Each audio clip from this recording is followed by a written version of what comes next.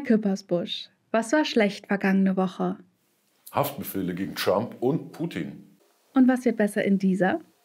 Doppelzelle. Bei Bild ist ganz schön was los. Können Sie uns sagen, was?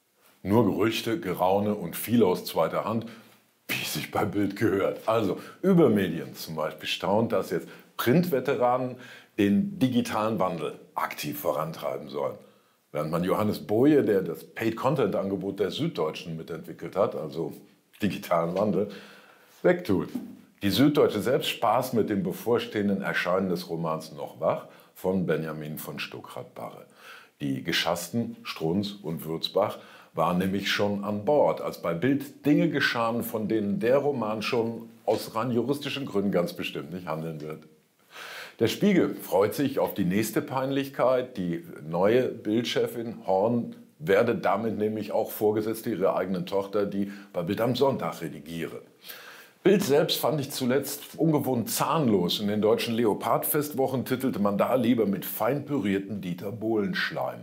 Weiter Weichreiten der Reichweiten. Es ist kaum noch eine Million. Man rechnet trickreich die BZ drauf, damit es eine Million Auflage ist. Oder wie man bei Bild sagen würde, boah, so wenig, kein Thema.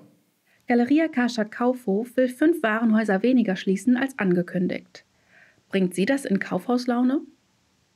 Aus meinem Bürofenster schaue ich auf die Kölner Filiale und manchmal gönne ich mir das mittags gelegentlich darüber und da reinzugehen, um mal das Gefühl zu haben, irgendwo der Jüngste zu sein.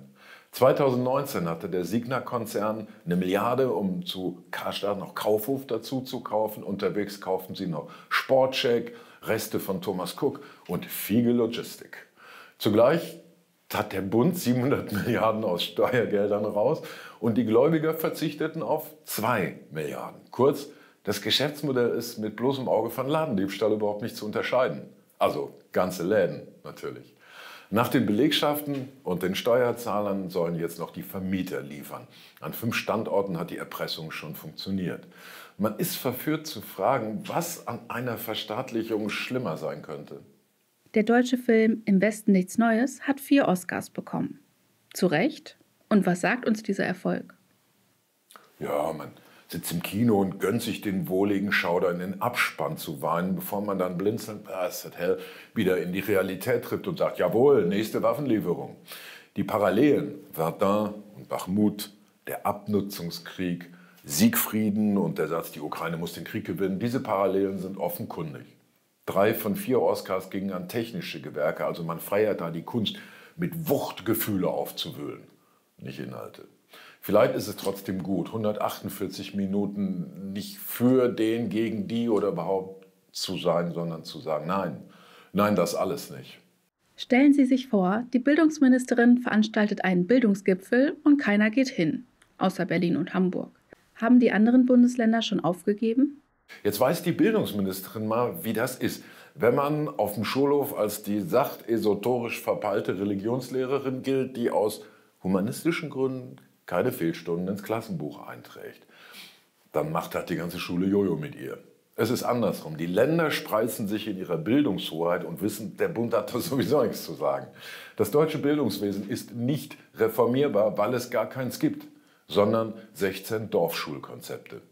FIFA-Präsident Infantino wurde im Amt bestätigt und die Weltmeisterschaft der Männer wird ab 2026 mit 104 statt 64 Spielen ausgetragen.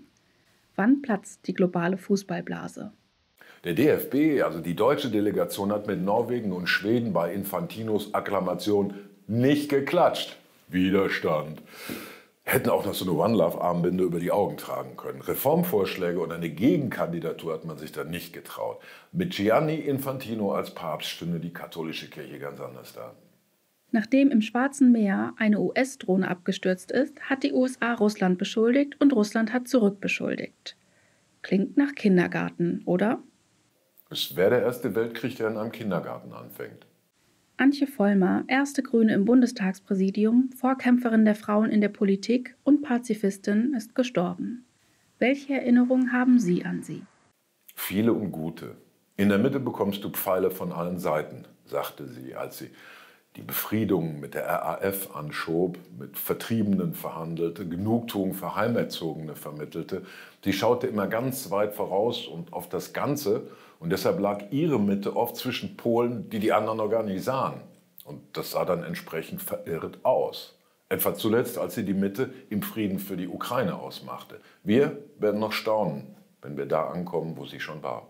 Und was machen die Borussen? Der BVB twitterte nach dem 6 zu 1, Entschuldigung, eine Google-Suche nach dem Wort Legende. Und erste Fundstelle Marco Reus. Ja,